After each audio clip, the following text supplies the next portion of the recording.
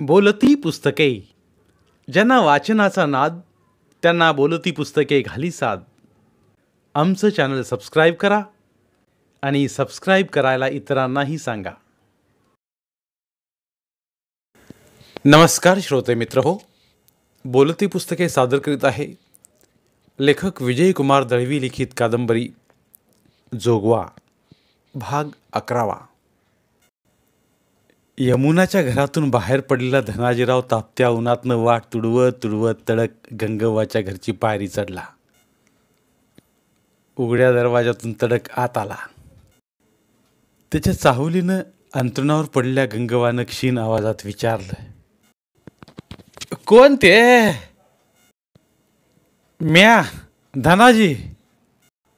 निश्वास सोडून गंगवा म्हणाली बस. आत्तापर्यंत आवरलेला संताप धनाजीच्या मुखातून बाहेर पडला. बसायला आलो नाही म्या. दोन वर्ष मागं लागून गाढवाच्या तोंडामोर हरिपाठ ठेवल्यावानी मला झुलवत राहिलीस. त्या रेणुकाचा सौदा जमल म्हणून आज तिच्या घराकडे गेलो. आणि त्या शंकरचं पायतान खाऊन कुत्र्यावानी घरातून बाहेर पडलो. का? का? मान सांगावा जनात आणि अपमान ठेवावा मनात. जाऊ देत. तुला सांगून तरी काय करायचं? पर गंगवा तुला एक सांगतो. तुझ्या मनात त्यो रेणुकाचा झुलवा करायचा आहे ना मग खोल आवाजात गंगवा म्हणाली लेका त्या बिगार मला मरण येईल कसं? सारा अपमान विसरून धनाजीनं आशेनं विचारलं तुझं काय बोलणं झालंय? कुणा सांग? यमुना संग उसासा सोडून गंगवा म्हणाली. नाही. धनाजी ताडकर म्हणाला. नाही. मग जा विचार आहे डोसक्यात पायताना हाणून तुला माघारी पाठवतात बघ. गंगवा सताड उघड्या डोळ्यांनी धनाजीकडे बघत होती. तिला काय बोलायचं हे सुचत नव्हतं. उठून बसण्याची धडपड करीत होती ती. तिची ती धडपड बघून नाही म्हटलं तरी धनाजीला वाईट वाटलंच. पुढं पाऊल टाकून त्यानं विचारलं गंगवा उठणार आहेस? गंगवा हुंकारली. काष्टवत झाले आपले दोन्ही हात वर उचलत तिनं आशेनं धनाजीकडे बघितलं. धनाजीनं पुढं होऊन तिच्या दोन्ही हाताला धरून तिला उठवून बसवलं. बाजल्याच्या कडेला हात धरून गंगवा धपावत होती. ती काहीतरी बोलल म्हणून धनाजीनं वाट पाहिली. पण बराच वेळ ती धापावत असलेली बघून धनाजीच तडकला वातारे मग काय करणार आहेस त्या रेणुकाचं? बाजल्याच्या कडेला धरला एक हात सोडून तिनं आपली छाती चोळली आणि धनाजीकडे न बघता ती कशी बशी म्हणाली जरा दम धर. धनाजी उफाळाच. आजवर दमच धरत आलोय.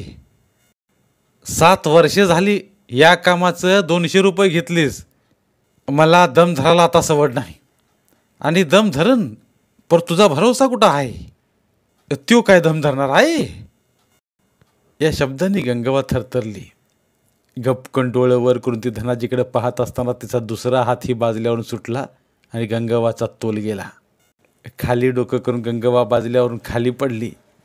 विस्पारित नेत्रानं धनाजी बघत असतानाच म्हातारीचं अय्या! एवढं शब्द त्याच्या कानावर आलं. त्या खोलीतल्या अंधूक उजेडात धनाजी पडलेल्या म्हातारीकडे पाहत होता. जवळ जाऊन उचलण्याचं भानही त्याला राहिलं नाही. भानावर येऊन तो खाली वाकला. म्हातारीचं डोळं सत्ताआड उघडं होतं. धनाजीनं म्हातारला उठवण्याचा प्रयत्न केला. पण ताटरलेल्या म्हातारला तो उठवू शकला नाही. गडबडनं त्यानं जवळच्या घागरीतलं पाणी तांब्यात ओतून घेतलं. एक हाताच्या उंजलीनं पाणी घेऊन म्हातारीच्या तोंडात पाणी घालण्याचा प्रयत्न केला. पण दातकिळी बसल्या म्हातारनं तोंड उघडलंच नाही ना पाणी घुटलं. झाला प्रकार लक्षात यायला धनाजीला वेळ लागला नाही. नसती ब्याद अंगावर येईल म्हणून धनाजीनं हातातला तांब्या तिच्या उशाजवळ ठेवला आणि उघड्या दरवाजातून बाहेर येऊन त्यानं गल्लीत पाहिलं.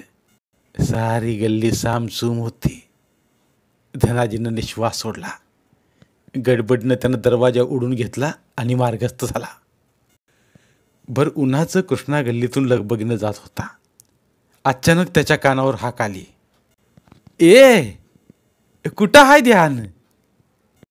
कृष्णा थबकला. आवाजाच्या दिशेनं त्यानं पाहिलं. दुसरा जोगता त्याच्याजवळ पाहत होता. तो कृष्णाजवळ येत म्हणाला काय कुत्र मागं लागलंय काय? दोन हळ्या मारल्या. वय कवार? तुझं ध्यानच नव्हतं. घाईत कुठं चाललायस? गंगवा गेली. गंगवा गेली?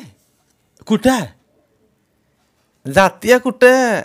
गचाकली काय सांगतोस? कवा गेली? ते यल्लूबाईलाच ठावक कवा गेली ते? दोन तीन दिवस आम्ही गावात नव्हतो. सकाळी आलो. गंगवाला भेटायला गेलो तर म्हातारी बाजल्याखाली ताटून पडली.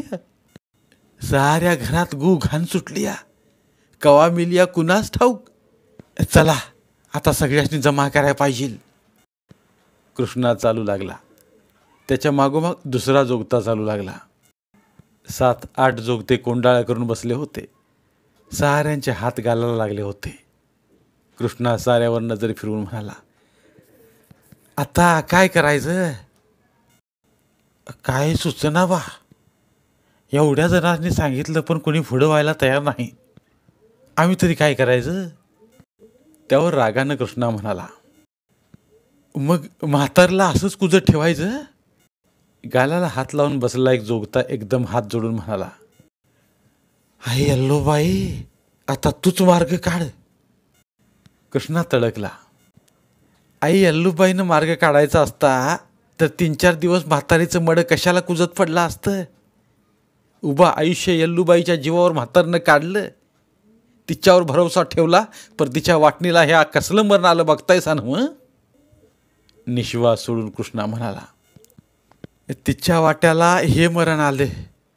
आमच्या वाट्याला कसलं आहे कुणास ठाऊक? घरात हाय काय माळावर आहे एक जोगता पटकन कृष्णाला थांबवत म्हणाला अरे कसला विचार करतो यास मान हलवत कृष्णा म्हणाला. खरं तेच सांगतोय. पायात बळ हाय तवर आम्ही तुम्ही जोगवा मागायचा. तोंड हाय तवर यल्लूबाईच्या नावानं उदो उदो करायचा. आणि सारं बळ संपलं की जमीन धरायची. तोंडात पाणी घालायला तरी कोण मिळतंय की नाही कुणास ठाऊक? कसलं जिनं आमच्या वाट्याला आलंय? कृष्णाच्या या शब्दांनी साऱ्या जोगत्यांचे चेहरे कावरे बावरे झाले. सारे एकमेकांकडे टकमक बघत होते. कुणाच्याही तोंडून शब्द उमटत नव्हता.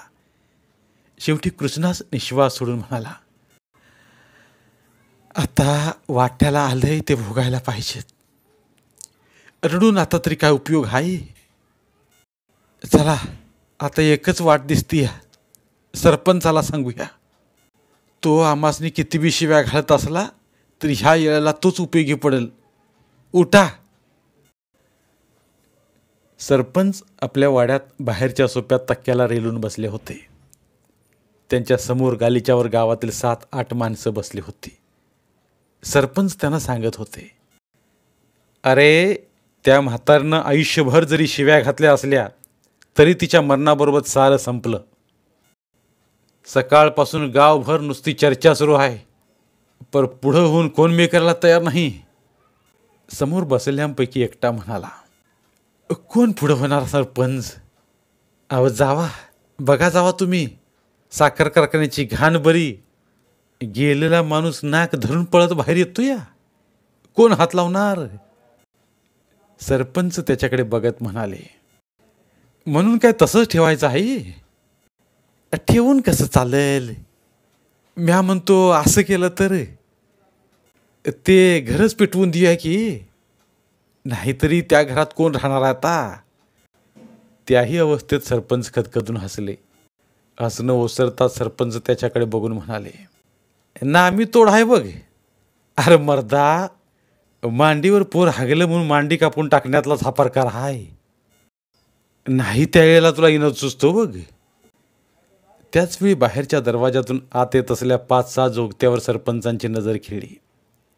सरपंच त्यांच्याकडे बघत राहिले. सरपंचाच्या नजरेचा रोख जाणून बसल्या साऱ्यांच्या नजरा दरवाजाकडे वळल्या. एकजण म्हणाला घ्या या कुंदे जोगवा. साऱ्या खदखुदून हसले. सरपंच त्यांच्यावर नजर न काढताच म्हणाले सगळेच देव एकदम आलेत की. मोर्चा आहे वय आमच्यावर. कृष्णा पुढं झाला. सरपंचाकडे बघत तो म्हणाला सरपंच साहेब ही थट्टेची वेळ नव्ह का? काय झालं? सरपंच ठावा आहे की तुम्हासनी गंगवा मरून पडली या जवळ जाय कोण तयार नाही. कृष्णा म्हणाला सरपंच एकदम उफाळेच. मग भडव्यांनो काकणं घालून कशाला बसलायसा तुम्ही? अरे आठ जण आहेसा की. जलमभर तिच्या मागणं फिरलायचा आणि आत्ता कुठं लांब लांब पळा लागलायसा हं? तसं नव्हं सरपंच हे आमचं काम नव्हं. आमच्या हातानं होतंय तेवढं आम्ही करतोयच की. एक जोगता म्हणाला काय होतंय रे भडव्या तुझ्या हातानं? जोगवा मागायचं काम नव्हं सारे जोगते खाली मान घालून उभे राहिले. काही क्षण स्मशान शांतता पसरली. सरपंचांनी शांततेचा भंग केला आणि विचारलं माझ्याकडे कशाला आलायचा पटकन कृष्णा म्हणाला गावचं मालक तुम्ही. तुम्हीच मायबाप. अडलं नडलं तुम्हीच बघाय पाहिजेत.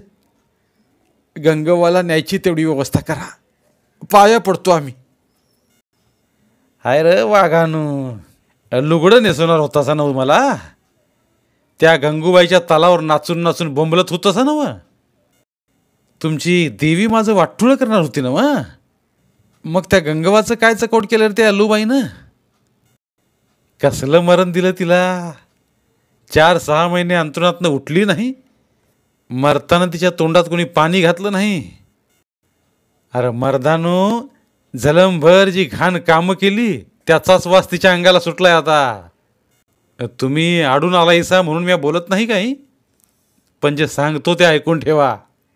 या जन्मात जी पापं केली जातात त्याची फळं याच जन्मात भोगावी लागतात. निदान तिच्या मरणावरनं तरी डोळं उघडून वागत जावा. अनेक जणांच्या संसाराचा इस्कोटा केला असा तुम्ही. त्यांचं तळतळाट तुम्हाला लागल्या बिगा राहायचं नाहीत. गंगूबाई निदान सावलीत मिली. तुम्ही उघड्या माळावर पडशीला आणि कोल्ह्या कुत्र्यांचं धन वशिला मोठ्या तोंडानं सांगायला आहे. आलासा तसं माघारी जावा. परत तोंड घेऊन आलं सा तर जोड्यानं मारून हाकलून घालून वाड्यात ना निघा. निघा म्हणतोय ना मग. सरपंचाच्या अवतारानं सारे जोगते वळले आणि बघता बघता दिसेनाशे झाले. ते जाताच सरपंच समोरच्या माणसावर नजर वळवत म्हणाले बोला काय करायचं म्हणतायचा तुम्हीच सांगा की एकजण म्हणाला सरपंच म्हणाले असं करा. निलगिर तेलाच्या एक पाच सहा बाटल्या घ्या. म्हातारीच्या अंगावर शिंपडा. सगळा वाज जाईल. आणि पटकन वाडाचार न करता म्हातारला आड करून या. बोलता बोलता सरपंचानं खिशात हात घातला. खिशातून शंभर रुपयांची नोट समोरच्या माणसाच्या हातात देत ते म्हणाले हे घ्या. कशाला हा? समोरचा माणूस अरे मर्दानू पाव नवटा घेतल्याशिवाय तुम्हास हे काम झेपायचं नाही. लागेल तेवढी प्या. कळलं हो? नोट हातात घेतोय असं म्हणाला. आता सरपंचांनी सांगितल्यावर आम्ही काय नाही म्हणायचं आता बोलत बसू नका गावातील घाण एकदा गावाबाहेर आड करून मोकळं व्हा. जावा उठा. सारे उठले आणि बाहेर पडले. सरपंच ते गेल्या दिशेकडे बघत बराच वेळ तसेच बसून होते. गोट्यात गुरांना गवत काडी बघून शंकर घरात आला.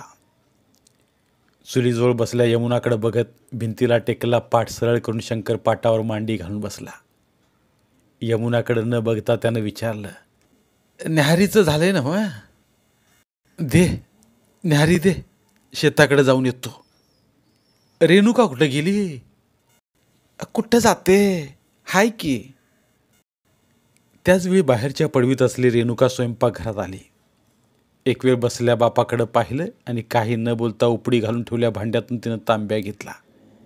घागरीतलं पाणी घेतलं. शंकराच्या समोर भरला तांब्या ठेवला. शंकर तिच्याकडे कौतुकानं पाहत होता. पटकन तो बोलून गेला पोरीला समज यायला लागली बघ. यमुना हसून म्हणाली समज न यायला काय झालं? मोठी झाली ती आता. हिच्या बरोबरच्या पोरींची लग्न बी झाल्यात. शंकर हसत म्हणाला आलं ध्यानात म्हणजे आमासनी बी जावं हुडकायला पाहिजे म्हण की. रेणुका लाजली आणि बाहेर पळाली. यमुना म्हणाली धनी चेष्टन का होईना पर विषय निघाला. खरंच रेणुकाच्या लग्नाचा आता बघायला पाहिजे. शंकर हसून म्हणाला तुला काय वाटलं? म्या डोळं झाकून गप्प आहे म्हणून? तशी दोन घरांनी म्या हेरून ठेवली आहेत. खरंच? तुझी शपथ. सुटली म्हण. सुटली. बरं झालं बाई. एकदा घर चांगलं मिळालं की पुरीचं कल्याण होईल. कवा विचारून येत आहे बघूया. तसा काय मी अगदीच गप्प नाही. निरोप धाडला आहे त्यांचा राग रंग बघाय पाहिजेत. त्यांच्याकडनं कळलं की जाऊन येईन म्या. बसल्या जागेवरून यमुनाचं लक्ष देवाऱ्यावर गेलं. देवाऱ्यावर पुजल्या यल्लूबाईच्या फोटोकडे ती बघत होती. बघता बघता तिनं हात जोडलं आणि पुटपुटली. आई माझ्या रेणुकाचं चार हात होऊ द्यात. संध्याकाळची वेळ होती. रेणुका मोकळी घागर डोईवर घेऊन विहिरीकडे निघाली होती. गावच्या बाहेर असल्या विहिरीच्या दिशेनं ती जात होती. विहिरीजवळ आली आणि रेणुकाचं लक्ष विहिरीकडे गेलं. विहिरीच्या कटड्याला रेलून उभ्या असल्या दोन तरुणांच्यावर तिची नजर खेळली. त्या दोघांना पाहताच रेणुका क्षणभर बावरून गेली. मनाचा हिया करून आजूबाजूला पाहती कशी बशी विहिरीजवळ आली. डोकीवरची मोकळी घागर तिनं उचलून खाली ठेवली. हातातला दोर घडगड्याला लावून दोराचा विळका तिनं घागरीच्या मुखाला लावला. घडगड्यावरून घागरतीनं खाली सोडली.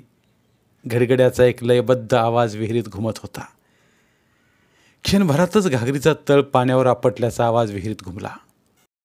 घागरीला दोराचे हेलकावे रेणुकानं दिले आणि विहिरीत डोकावून भरणारी घागर ती बघत असतानाच तिच्या कानावर खाकरण्याचा आवाज आला. रेणुकानं तिकडे लक्ष दिलं नाही. भरलेली घागर वर ओढत असता ती दोन्ही पोरं रेणुकाच्या दोन्ही बाजूला येऊन उभी राहिली.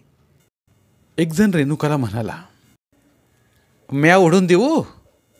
रेणुका फणकारानं म्हणाली माझा हात घट्ट आहेत. आम्ही कुठं नाही म्हणतो. तू घट्ट मुठ्ठा आहेस म्हणूनच तुला विचारतोय ना हां. घागर ओढायची थांबून रेणुकानं रागानं बोलणाऱ्या पोराकडे पाहिलं. पण तिच्या रागाचा परिणाम त्या पोरावर काहीही झाला नव्हता. रेणुकाच्या छातीकडे हसून ते पोरग पाहत होतं. हातात दोरघट्ट धरून रेणुका झटक्यात म्हणाली तुला काय आया बहिणी आहेत काय? नाही र.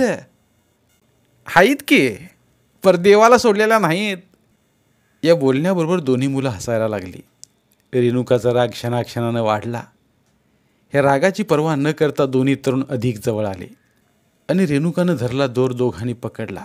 एकजण म्हणाला सरक सरक बाजूला सरक. आम्ही ओढतो. तेवढी तरी देवीला मदत होईल. त्यातून देवी प्रसन्न होते का बघूया. दोघांच्या शरीराच्या स्पर्शानं रेणुका झटकन दोराचा हात सोडून मागं सरकली आणि त्याच वेळी तरुणांनीही दोरीचा हात सोडून दिला. घडगड्याचा क्षणभर आवाज झाला आणि दोरा सकट घागर विहिरीत आपटली. रेणुका काही क्षण अवाक झाली. त्याच वेळी तिच्या कानावर शब्द पडले. अरे च्या! आईला घागर पडली ना मग. आता र. आता काय? काढायची कपडं रेणुकाकडं पाहिलं आणि विचारलं. रेणुका म्या एकटाच कपडं काढू का त्यो बी काढू देत सांभाळशील ना मग कपडं? संतापानं फुललेली रेणुका उफाळली. जाऊन सांगतो घरात. घरात? कुणाला? तुझ्या त्या हिजड्या भावाला? ते येऊन आमचं काय करणार? त्याच्याने कशाला अडचण? त्या निर्लज्ज बोलाने रेणुका गरकन वळली आणि सुसाट घराकडे धावत सुटली. रेणुका धावत घरी आली. यल्लाप्पा एकटाच घरी होता. घाबऱ्या घुबऱ्या रेणुकाला पाहून यल्लाप्पा म्हणाला रेणू काय झालं? अशी धावत आलीस? हा? आणि पाण्याला गेलतीस? तुझी घागर कुठं आहे? घागर पडली विहिरीत. कशानं? दोर तुटला का गुळक्यातनं घागर निसटली दोर तुटाय नाही आणि गुळखं बी निसटाय नाही. पर विहिरीवर पाणी आणाय गेल्यावर दोन टार्गट पोरांनी माझी छेड काढली. माझ्या हातासनी धरलं तेव्हा माझा हात दोरीवरनं निसटला आणि घागर पाण्यात पडली. माझ्या आबरू घ्याय बघत होती ती पोरं. कपडे काढू का म्हणून विचारत होती. रेणुकाचं डोळं अश्रूने डबडबलं होतं. रेणुका रडू लागली. रडणाऱ्या रेणुकाकडे पाहत यल्लापा तसाच बसून राहिला. त्याच्यावर रेणुकावर ओढवल्या प्रसंगाचा कोणताही परिणाम झाला नाही. तो खाली मान घालून नुसता बसून राहिला. बराच वेळ तो काही बोलत नाही हे बघून रेणुका त्याच्याकडे पाहत संतापानं म्हणाली अण्णा तुला काहीच वाटत नाही? वाटून न वाटून काय उपयोग? उसाचा सोडून यल्लाप्पा म्हणाला माझ्या हातानं काय होणार? आणि एकदम त्यानं गुडघ्यात मान घातली आणि ओक्सा बोक्सी रडू लागला. रडणाऱ्या यल्लप्पाच्या डोक्यावर रेणुकाचा हात विसावला. आणि यल्लप्पानं आश्रून डबडबलेली नजर वर केली. तिला काय बोलावं सुचत नव्हतं. एकटक नजरेनं ती रडणाऱ्या यल्लप्पाकडे बघत होती. दाटलेल्या गळ्यानं यल्लप्पा म्हणाला रेणुका माझ्या ओठावर मिशा फुटायला लागल्यात. पर अंगात हे हे पातळ आहे आणि काकणं हातात आहेत. दुबळा झालोय ग म्या. फार फार दुबळा झालोय आणि दाबून धरला उमाळा एकदम बाहेर पडला. यल्लापाचं सार अंग गदगदू लागलं. रेणुकाचा हात घट्ट पकडून तो परत रडू लागला. यमुना अंगणात पांढऱ्या शुभ्र धोत्रावर सांडगे घालत होते. त्याचवेळी दोन जोगते यमुनेच्या समोर आले. यमुनानं त्यांच्याकडे पाहिलं पण ती हसली नाही. एक जोगत्यानं विचारलं अक्का कसली तयारी चालली या तयारी कसली? खायला पाहिजे म्हणजे कराय ना ग. तसं नव्हा का? आम्ही काय ऐकलंय ते खरं आहे? काय ऐकला सा हेच की रेणुकाचं. ऐकलासा असा नव मग खरं असल्याशिवाय काय ऐकाय मिळतंय? वय ते बी खरंच की. म्हणजे रेणुकाचं लगीन करणारच म्हणा की. खाली मान घालून यमुना म्हणाली नाती धुती पोरगी. येळाच्या येळी दिल्याली बरी. खरा अक्का डोचकं फिरलं का काय तुमचं? यमुनानं चमकून त्यांच्याकडे पाहिलं आणि विचारलं. का तसं नव रेणुकाचं लगीन ठरवाय उठलायसा म्हणून म्हटलं. आता शंकर भाऊजींचं एक डोचकं फिरला असेल म्हणून काय तुमचं बी फिरवून घ्यायचं? काय झालं? आत्ता ग भैया मलाच आणि विचारा अक्का एक विचारू? काय विचारणार आहेस बाई? शंकर भाऊजी कुठं आहेत? गेल्यात गावाला. कशाला? तुला चांबार चौकशी कशाला पाहिजेत? जोगता हसला.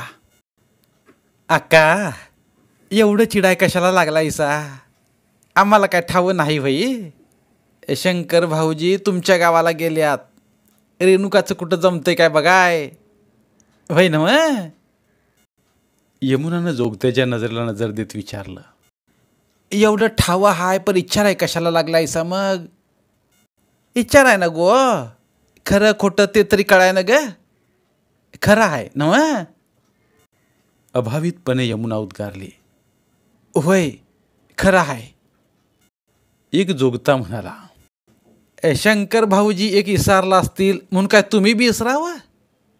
काय विचारणारी गंगू मावशी गेली म्हणून कसं बी वागावं? काय झालं? न समजून यमुनानं विचारलं. विचारणारा जोगता यमुनेसमोर बसला आणि हळुवार आवाजात त्यानं विचारलं.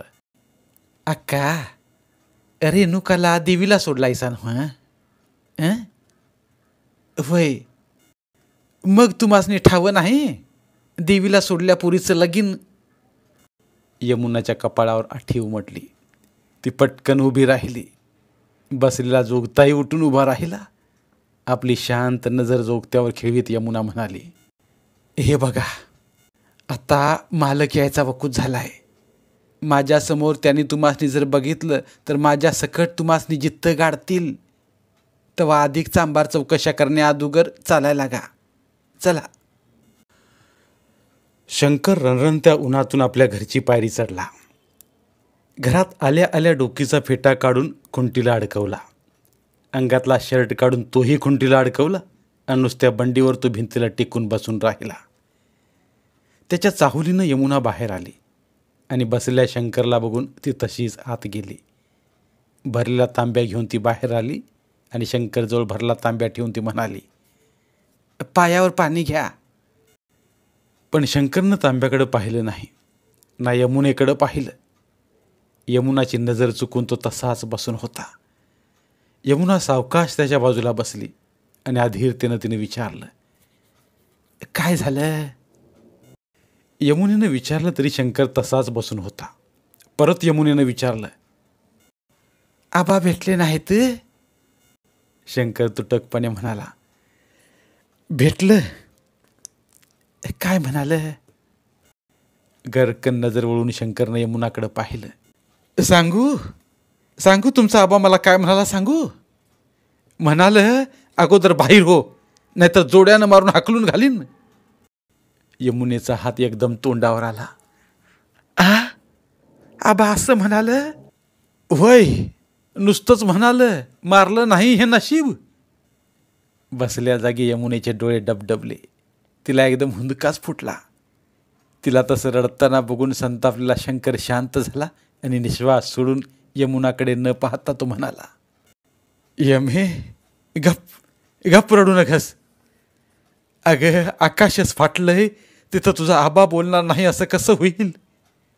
सगळीच बोलणार. पडत्या काळात कोण बी जवळ येत नाही बघ. खरं सांगू यमे तुझे आबा म्हणाल त्यात काय बी खोटं नाही. कसं बस यमुनेनं विचारलं काय म्हणाले? दुसरं काय म्हणणार? हेच की शेण खायच्या अदुगर मला कळवलं असतं तर हे घडलं नसतं. काय खोटं आहे त्यांचं तरी? त्यासनी बोल लावून काय होणार आहे आता एकच उपाय माझ्या हातात आहे बघ. धने घाबरू नकस जीव देणार नाही म्या. पाप केले ना ते ह्याच जन्मी फेडल्या बिगार सुटका नाही आपली आता. आता शेवटचा एक प्रयत्न करून बघायचा. सरपंचासनी भेटायचं. त्यांच्या बिगार ह्यातनं कोण सोडवील असं वाटत नाही. आता त्यासनीच सांगतो. धन्यवाद. उर्वरित कादंबरी पुढील भागात. मराठीतील प्रतिभावंत लेखकांचं साहित्य कथा कादंबऱ्या ऐकण्यासाठी आमचं बोलती पुस्तके हे चॅनल सबस्क्राईब करा. आणि मराठी साहित्याचा प्रसार करण्यासाठी प्रत्येक मराठी माणसाला सबस्क्राईब करण्यासाठी आवाहन करा. आणि बोलती पुस्तके या साहित्य चळवळीत सहभागी व्हा. आपले पुन्हा एकदा धन्यवाद.